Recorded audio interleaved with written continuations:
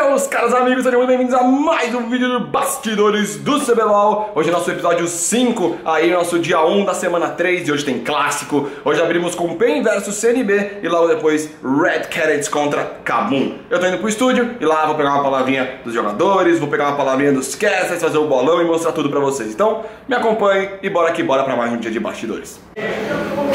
Ó pessoal, vou mostrar o nosso almoço de hoje pra vocês, ó, salada, arroz, arroz integral. A Cris tá comendo um feijãozinho, aí sim, hein, Cris. Deixa eu ver o que tem aqui. Aí, ó, farofinha, uma polenta, macarrãozinho com umas linguiça. Não posso mais comer linguiça, Cris, por causa da gastrite. A médica falou que faz mal, gastrite não, refluxo. Falou que faz mal pro refluxo, eu não posso mais comer. E aqui um franguinho com creme de milho. E aqui, como sempre, um suco que tem mais açúcar do que o tangue. Chefe tomando água, esse cara é natural absurdo e uma coquinha. Então, partiu comer, o pessoal tá comendo aqui já, o pessoal da Penha ali comendo.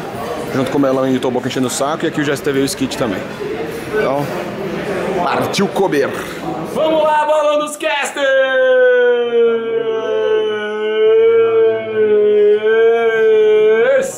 Vamos começar com o meu mitológico Dragon Citrus. Oi. Tudo bem? Nós entraremos agora, daqui a pouco, para fazer PEN CNB. Qual será o resultado?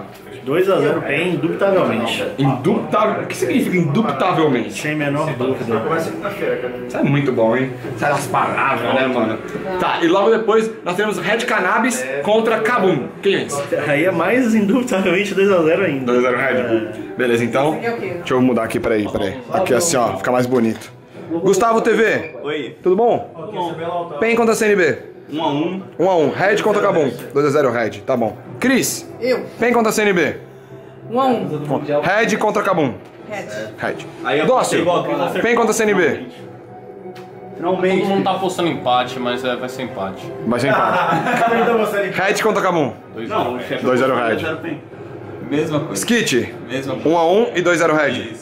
Tabaco, 2x0 CNB, 2x0 Red. 2x0 CNB e 2x0 Red. Anti-PEN, né, velho? Melão, É mesmo. 2-0 PEN, 2-0 Red. Ah, ele mete esse louco. Por que meter esse louco? e eu vou, eu vou no mesmo louco do Melão, eu vou de 2x0 PEN, 2x0 Red. O mesmo louco. É, e é isso, espero que eu acerte dessa vez, porque semana passada só a Cris apostou empate da PEN e a Cris acertou, não sei como. Não sei como ela acertou aquele empate, mas tudo bem. Então, Isso que é, uma- isso que é um bolão, né? É, eu vi a Cris com uma mala preta por aí, viu? do, do- E hoje eu vi o Ronaldo, o Ronaldo passou, tirou uma foto com o Toboco ali, eu não sei, né, velho? Mala Quem me dera, não, quem me dera ele tivesse, tivesse tirado uma foto comigo. O Luffy ali. Eu tenho. Eu que o outro caso tá mil. Camisoide. Sensei Sharps. Tendo foto pra divulgar, pá. Pode divulgar. Nossa, eu sou um péssimo. Tolhão. Nylonzinho. E do outro lado, nós temos os, o time do Ronaldo. O time do Ronaldo. Os Voz. O The Carry que não tá aqui. O Ronaldo da CNB. O Ronaldo tá chegando aí. Tá Ah, é. Tá bom. Nervinha, Lepão. E o Leite. Olha que menino bonito, velho. Olha, tô dando um zoom na tua cara, mano. Faz. Ele não parece o Shrek? Ó. Aí, pessoal, acabou agora então. PEN 2 CNB 0 e o Chape tá feliz? Foi legal. Feliz porque era um bom jogo, né? Foi jogando. Sim. ter, ter, ter tido um grande jogo e eu vou tentar falar agora com o pessoal tanto do CNB quanto da PEN, vamos ver o que, que rola. Bom, galera, então tô aqui agora com o Mitch, conversar um pouco com ele sobre esse 2 a 0 que vocês conseguiram pra cima da CNB. Vamos falar um pouco do primeiro jogo. Quero falar primeiro daquela inversão que a CNB fez e levar a torre do inibidor aos 3, aos 8 minutos. Que não surpreendeu vocês? Era uma fuga deles pra sair da bot lane do gank de vocês, level 6, a composição. O que, que, foi que aconteceu ali? foi muito boa, bem jogado por eles, porque realmente a partir do level 3 a gente tinha uma força muito grande de Shen, pelo próprio Olaf também, a pressão na bot lane era bem grande, a gente fez um draft um pouco voltado para aquilo. A gente sabe, tinha noção disso, mas eles fizeram muito rápido. A melhor resposta seria colocar o loop para voltar e deixar o Matsukaze farmando no bot. Foi- a gente reparou que, o, que a vantagem que o Mali conseguiu construir foi de dois levels. Se a gente tivesse conseguido fazer que o que o Matsukaze ficasse no bot também, a gente teria duas, dois campeões com dois levels à frente, aí o jogo teria sido mais bem definido. Por que, que você acha que demorou um pouco? Teve muitas vezes vocês estavam tentando entrar, vocês não conseguiam, luta na selva, vocês não conseguiam matar, faltou um pouco de dano ali na hora de transição mid-game, ali a comp cai um pouco, deu uma falhada ali, parecia que não ia entrar. É, a nossa condição de vitória depois que a gente tinha pegado três dragões, a gente poderia ter transitado pro Barão. É um pouco difícil mesmo, principalmente quando ele tá com pacote, porque ele consegue fazer aquela linha de defesa com pacote, então era um pouco complicado. A partir do momento que o que, o, que a Ashe conseguia pegar o item de penetração de armadura, aí a gente tinha potencial para poder matar a frontline deles, reconhecer isso e acabar com o jogo. Aí no final do jogo, o nosso querido amigo Kami ali contribuiu em acertar um pouquinho no final. Tava na hora, né? Na um um quesão. Obrigado, é isso que eu ia falar. Não precisa ser gentil. A gente não conseguia finalizar o jogo quando acertava nem um pouco. Mas aí quando acertou também, né? Tirou, não sei, 30% de vida dele. É o Karma é muito. Gente, Karma é forte no late game, tá? Não é fraca late game, é forte, o boneco dá muito dano. Cara, mid. É bom, a suporte também é roubado. Beleza, obrigado então. Valeu, vou deixar aqui, ó. Esse foi o Meet, esse foi a participação especial do Kami. Vai viajar agora, Kami? Fiquei vou. sabendo. Pra onde você vai, Kami? Ah, isso aí. Nova York, ele tava pra Nova Eu vou York. pra no Nova final. York. É meu, meu, meu rolê de fim de semana aí pra Nova Ele York. vai pra Como assim? Você vai pra Nova York? Ele vai pra Nova York. Ah, bom. Vai pra Floripa? Vai voltar pra Não, casa? Não, pra Brasília. Brasília mesmo, legal. Então boa sorte, boa viagem. Valeu. Vocês estão líder agora. E aí, quando- continua líder ou a Red vence agora? Tô torcendo um pontinho pra Cabum aí, né? Vamos Cabum. Beleza, valeu. Valeu, galera. Esse foi então o Mitch e o Cami participando aí na entrevista do time da Penha. Vamos conversar agora com alguém da CNB. Bom, pessoal, tô aqui agora com o Minerva, caçador do time da CNB. O jogo não foi tão bom quanto vocês esperavam, foi uma derrota. Mesmo assim, vamos lá, vamos conversar sobre aquele primeiro jogo. Primeiro eu quero entender o seu lado da história. Que aconteceu naquela inversão que vocês fizeram aos 8 minutos que vocês conseguiram levar a Tier 3? Era realmente pra fugir um pouquinho da comp deles no level 6, daquele Olaf, do Shen? É, a inversão foi porque Ashe e MF nível 6 tem uma pressão muito boa bot e com a inversão você acaba que às vezes você consegue matar o top e puxar todas as torres. Com isso você deixa o top muito atrás e acaba esquipando o nível 6 do, do bot, que é Ashe, MF, Malzahar, essas coisas assim. E é muito bom, só que nessa inversão eu não sei bem o que, que houve, que o Lab ficou dois níveis atrás. E de acordo com o jogo, o a vantagem ia se estendendo cada vez mais. E com isso, o Shen tinha mais, mais, mais presença. Por fato dele ser um Shen, ele já, já tinha mais. Porque ele tinha o TP mais a ult pra acompanhar. E também nós jogamos não tão bem. Isso ajudou também. E me diz uma coisa, segundo jogo, é... Ai, qual era o momento? Teve um momento... Ah, você pegou o Rek'Sai, eles vieram de Ivern. É, eles já tinham, na verdade, o Ivern, você pegou o Rek'Sai em cima do Ivern. Por que da escolha desse matchup? E por que vocês não estavam conseguindo entrar? Vocês tinham a iniciação... O Jin abria, você tentava entrar pra levar a bola da Oriana, mas o Lep, por exemplo, não conseguia entrar em nenhuma luta, que a gente viu que era difícil. Ele ia tentar chegar, já tinha, tipo, perdi a vida inteira. Sinceramente, acho que o pique de, de Rek'Sai contra Ivern foi um pique muito ruim mesmo, mas acho que na, naquela situação ali, a gente achou que a Rek'Sai ia ser me- melhor, mas acabou que não foi. Foi uma opção muito ruim, na minha opinião, porque mesmo tendo pressão das três lanes, eu não conseguia fazer muita coisa na, na jungle dele.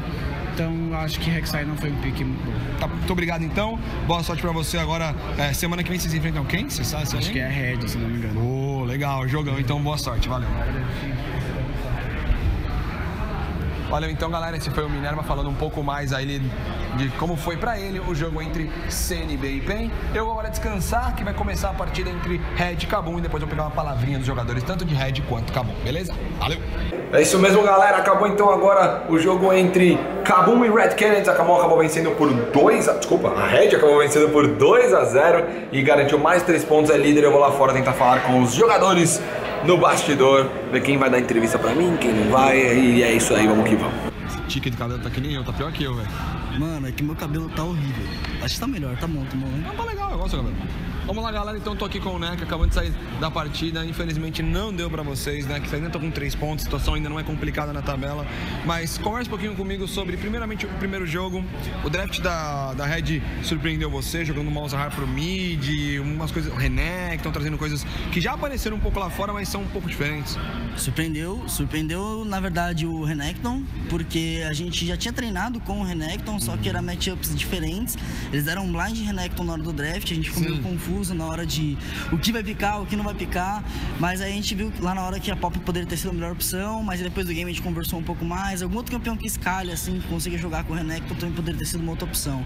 Mas acontece, é uma coisa que a gente tem que aprender com isso, com certeza, e a gente tem que colocar em prática em treino, porque tá aparecendo picks novos a cada, cada, cada semana que passa, LCK, LCS, tá aparecendo picks novos, A LCS europeia é uma loucura, velho. Toda hora tem Camille Mid agora fizeram, parece. Eu, eu não gosto muito da Mas. É, os caras são loucos lá. É, são tipo a China quando faz aquelas loucuras lá, lembra? Sim, sim. Mas, ah, mas a gente tem que aprender, porque são estilos de jogos diferentes e isso a gente tem que implementar pro time também. Isso demora uma, duas semanas pro time inteiro pegar.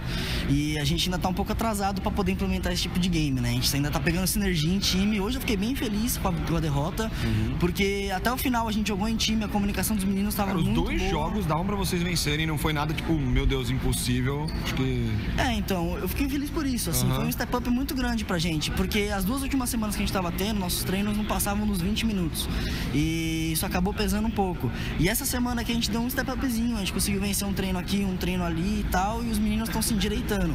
Agora é a hora da gente começar a moldar a estratégia realmente, começar a engrenar nisso, Uhum. porque todas as engrenagens estão rodando de acordo agora. Legal. E qual que é, qual que é esse propósito, então, da Kabum pra esse primeiro split? É garantir a vaga pro segundo split? É buscar um playoff? É entrosar o máximo que der pro segundo split vir forte? Como é que tá o pensamento da Kabum aí? Olha, honestamente, o pensamento da Kabum organização, eu não consigo dar um feedback porque é deles. Só Seu, que o meu, jogadores. como time, como jogadores, é a gente dá o máximo que a gente pode, aprender uns com os outros nesse split, pra se caso eventualmente a gente continuar junto, a gente continuar junto como um time e continuar a nossa amizade, que a gente é muito amigo. Beleza. Então, então galera, esse foi o NEC. Acabou, muito obrigado. Boa sorte Valeu. no CBLOL. Valeu então, galera. Esse foi o NEC. Vou ver agora se eu converso com alguém do time da Red, querendo ver quem tá livre lá pela imprensa pra conversar comigo. Bora aqui, bora. Olha o pessoal que eu encontrei aqui passando, o Dilde. Oi. Primeiramente, feliz com a vitória? Feliz, três pontos, a gente é líder com nove pontos agora, temos que continuar. É isso mesmo. Quero conversar com você um pouquinho, primeiro sobre o pique da Lulu. Eu gosto da Lulu. Ah, Lulu você não está falando do pique da Karma. Não, a Eu Karma- joguei cinco vezes Você jogou Karma. cinco vezes de Karma, não tô nem aí, mas. Primeiro, a Lulu, por que, que ela vai voltar a aparecer? Não vai? Era só situacional pra esse Lulu jogo? tomou um buff no novo patch cento- eh, CT.2, agora ela está ficando ainda mais forte. E Lulu é muito bom contra Malzahar, porque ela pode matar os bichos de Malzahar em um auto-ataque. E você pode cancelar também o ultimate como o W dela. Aham. Então ela é muito de boa. A gente só picou ela para farmar de boa bot. E também ela é muito bom quando as pessoas querem fazer um dive. Ah, que sim. aconteceu o bot. Foi. É, Aquele dive atrapalhado deles no começo. Vocês quase saíram com as kills ali. Sim, sim. Eu ponto de picar Lulu porque a gente sabia que o plano do jogo estava para jogar pro topside. A gente tinha um Jace, a gente sabia desde o começo que eles não vão jogar bot. Uhum. Então a gente precisa jogar uma bot lane safe. Claro, eles têm um Marzak, claro, eles têm um Varus que é muito forte. A gente não pode conseguir uma vantagem contra isso. Sim. Então a gente só vai jogar o farm, a gente só vai jogar uma com que não pode morrer depois de um dive. Então Lulu é real, perfeito por isso. Muito boa, muito bom pique de Lulu. E uma coisa, vocês mudaram um pouco o estilo de vocês da semana passada pra essa, porque vocês, primeiro jogo vocês adaptaram o Malzahar pro mid, trouxeram um Renekton, agora a Lulu. Vocês saíram um pouco daquelas mesmas escolhas, tentaram mudar um pouco ou estavam tentando esconder tática, porque semana que vem tem CNB, depois tem PEN, depois tem Cade. A gente está tentando coisas, com certeza, como o pico do Renekton e o pico do Mazar, mas eu acho que, enfim, a gente sempre vai tentar se focar no objetivo. Você pode ver no jogo, a gente não vai tentar de pegar kill para fazer um snowball. A gente vai focar no objetivo, como jogar uma com. Assim, qualquer, qualquer boneco que a gente vai jogar, se a gente vai focar no, no, no objetivo da com, como jogar, se você dá Siege, se você dá Poke, se você dá Kite, etc., a gente vai saber jogar qualquer com. Entendi. Então, talvez não uma partida tão boa para assistir, porque não tem muito kill, mas pra gente é assim que a gente está melhorando. Eu acho que isso mostra que no, na macro, Red é um time muito forte. Muito forte mesmo. Obrigado, Dilde, então. Sou o Dilde, galera. Seu YouTube vai estar lá na descrição, galera quiser conhecer. Está falando, começando uma série, né? Mostrando a vida do Dilde. Ah, pode mostrar o menino aqui, eh, do outro lado da câmera, mostra ele. É ele que tá gravando? Isso, ele está gravando tudo para vocês. Então, espero que você vai gostar. Acessa aí, eu vou deixar o link pra vocês. Obrigado, Dilde. Boa sorte no resto do CBLOL aí. Valeu. Tchau. É isso, galera. Então esse foi o Dilde. Ele tá fazendo uma série bem bacana pro canal dele também, mostrando um pouco da vida dele, contando a história dele. Eu vou deixar nos comentários pra vocês. E eu espero que vocês tenham gostado dessas entrevistas. Valeu.